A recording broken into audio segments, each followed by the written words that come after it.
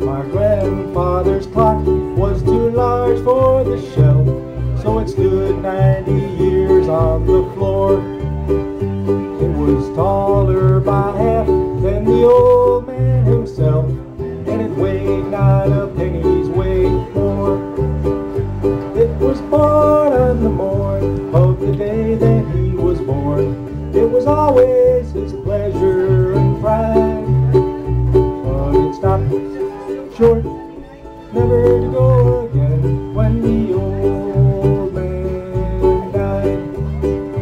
Ninety years without slumbering, tick tock, tick tock, five seconds numbering, tick tock, tick, but it stopped. Short, never to go again when the old man died.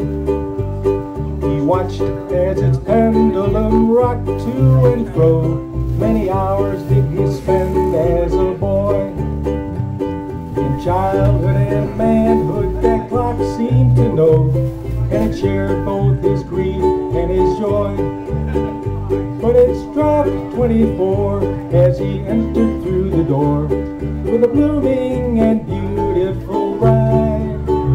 But it stopped short, never to go again when the old man died.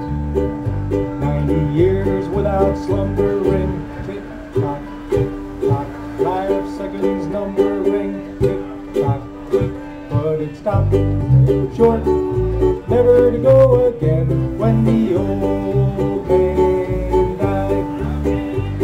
My grandfather said that of those he could hire, not a servant so faithful he found. For it wasted no time and had but one desire, at the end of each week to be wound.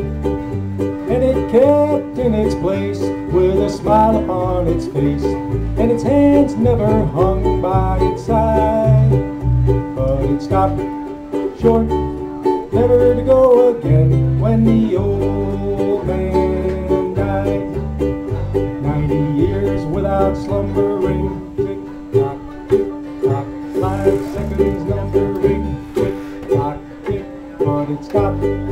short, never to go again when the old man died. Yes, it stopped short, never to go again when the old man